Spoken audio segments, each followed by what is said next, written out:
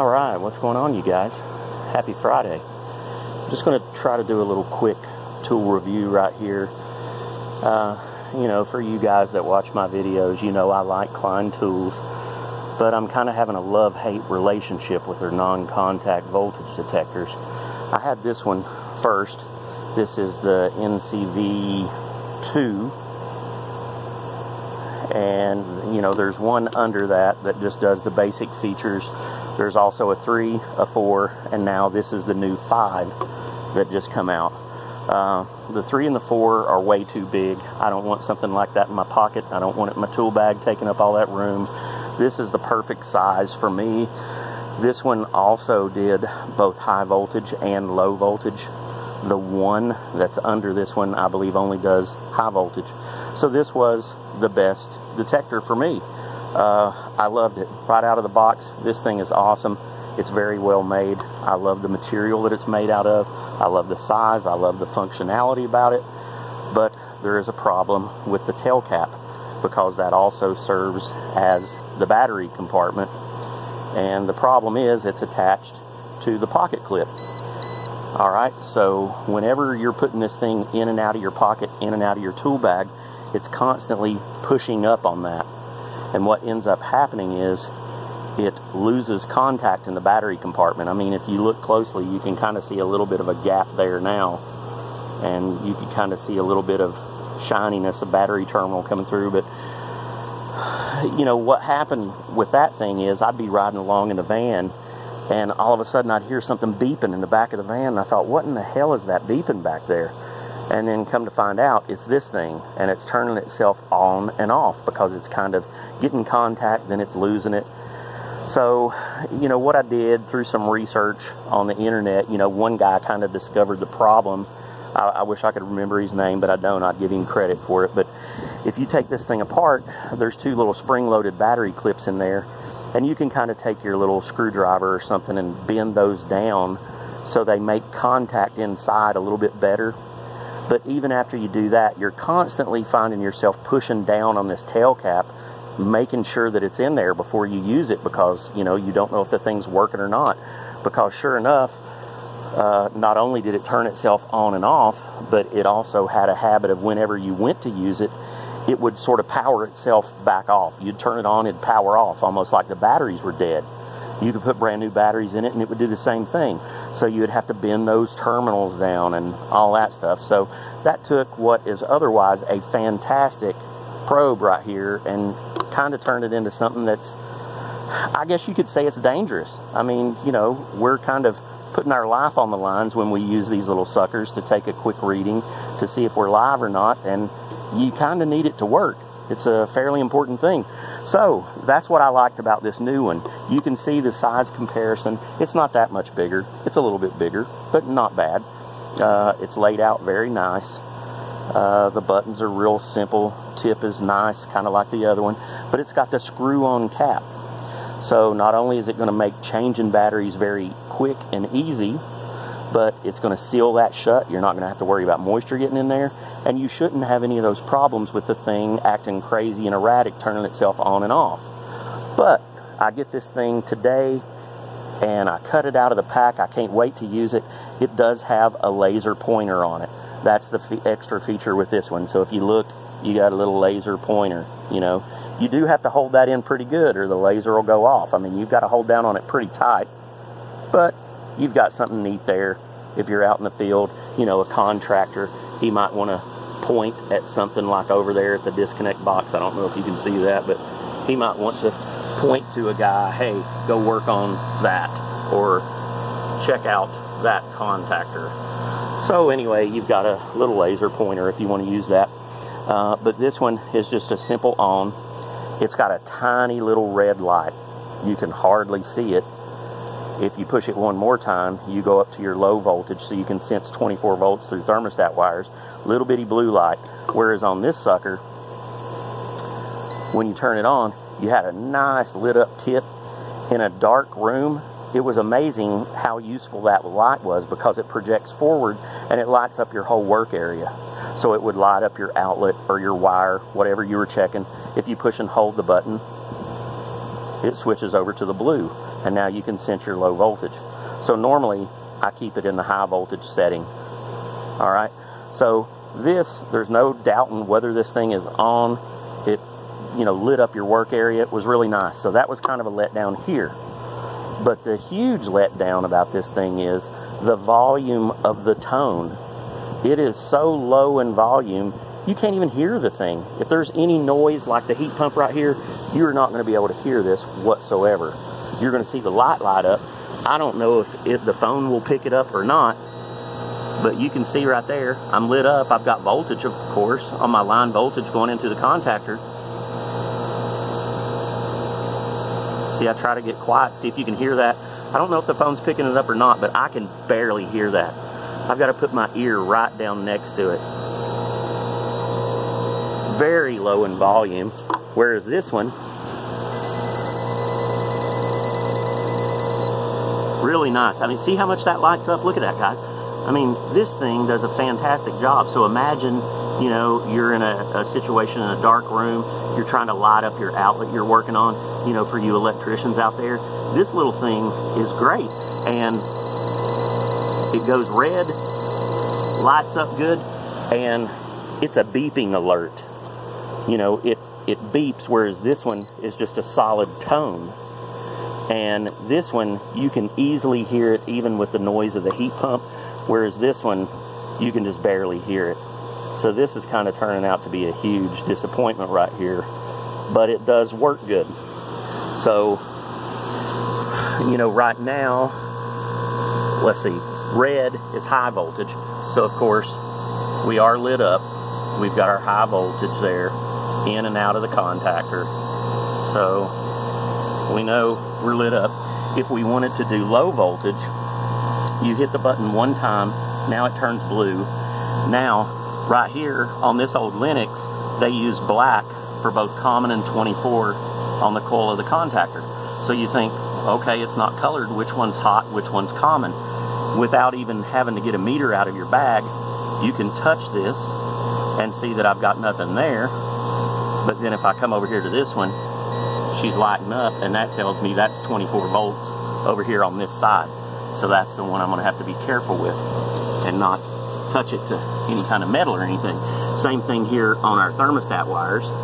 If we get in here, I can come in down here and, you know, I can tell that I've got power on my yellow and my orange and my red. Uh, right up there, see I'm touching my white wire and that's pretty good there. I like that. That That's impressive because it's not getting any stray voltage from down here it is sensitive enough to where I'm touching that white wire and I can tell I don't have power there. So in the wintertime, if I wanted to do a quick, easy check on a system, once I've thrown it into defrost, I could just throw this thing on that white wire and tell if it's sending 24 back through that wire. Or a very commonly overlooked problem is that white wire not even being hooked up at the indoor unit. So when the unit goes into defrost, it goes into air conditioning, and it's not turning on the electric heat and you get that complaint of the unit blowing cold air. You come out and check everything and the pressures are fine you're not low on refrigerant it's not froze up the defrost is working good. But what you don't know is that wire was hooked up at the outdoor unit but not at the indoor unit.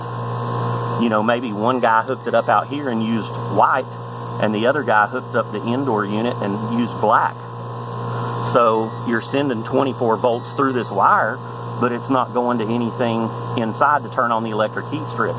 So that's something that's commonly overlooked. So the easy way to diagnose that would be to just throw the unit into heat, jack the temperature up so you make W2, then the indoor unit, if the wire is good and hooked up in there and connected to out here, it will send 24 volts out to here and it will just be sitting here. Even not in defrost, you're going to have 24 volts there. So you could throw this little gizmo on there, and if it lights up, you know that you're good. Uh, but that's definitely something to check in the wintertime. That's, that's a, a little trick I learned a long time ago with some of those nuisance calls of the unit blowing cold air. Something to keep in mind, guys. But anyway, this thing does work good, but I'm just very disappointed in that volume. I cannot hear that whatsoever. And I know the video is getting a little bit long, so let's just run inside here where it's quiet.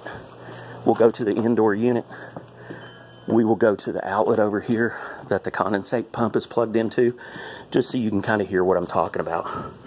So right here is the NCVT-5, okay? And let's go ahead and take it off that low voltage setting. All right, so we're back to the red light. Now we're sensing high voltage only. We can distinguish our neutral leg, nothing there. There's our hot leg, but then the tone, I'll let you listen to that. Okay, now right here is the NCVT-2, and again, right there is our neutral leg.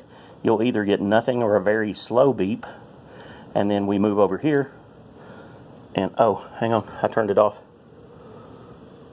Get her back on. Okay. All right, so right there, neutral. There's nothing there, but we've got that nice light. You can imagine that in the dark. It'll light that up good so you can see your plug. So we've got nothing there. If we move over here to our hot leg. All right, so this thing's acting up on me right now right in the middle of the video, this damn thing is acting up. That's what drives me crazy about this freaking piece of crap. And I'm telling you, I, right there, see, I just pushed on the tail cap. Look at, look at it right there. It's doing it right now. I'm pushing on the tail cap and I'm manipulating this thing coming on and off. So right there, we just caught it on video. It came on by itself right there. I didn't even touch the button that time. It, it's all through that tail cap, and I swear I hope somebody at Klein sees this I hope somebody responds back to me. I'm going to put my email down below here. I'd really love to hear from a Klein rep about this because this freaking thing is damn dangerous out in the field. And that's the whole reason I bought the new one. And now you can't even hear the beep on it. And I swear I hate to be saying that about Klein tools because I love my Klein tools. You know how many videos I've done showing my Klein tools. But now these things are driving me up the wall. I had a Craftsman non-contact detector that I have had for probably 15 years and other than the pocket clip finally broke on it that thing still works to this day. I would trust it with my life in a heartbeat. It works great. It's got a loud beep. It lights up. It works every time you need it to work whereas this does not. It's off right now and I'm trying to turn it on so there's the low voltage setting. You hold the button and it switches to green, but there was no beep. You're not hearing any kind of a beep there. And see, it's not working. It's, it's completely malfunctioning right now. Crap. And I, I wanted you to hear the difference between the two beeps here, and I can't even get this thing to work now. Okay, there it beeped. Let's turn it back on, see if it'll work. Okay, there. Now let's see if we can get it to work long enough to hear the beep. Okay, so you hear that. That's what a non-contact should sound like. A beep alert that you can hear very easily without having to listen to. But then here we are back here on the 5. And for all I know, the phone might make it sound louder than what it is. But trust me, guys, you can barely hear this thing out at the heat pump. Can't hear it at all. So anyway, there's just a quick video on these two tools.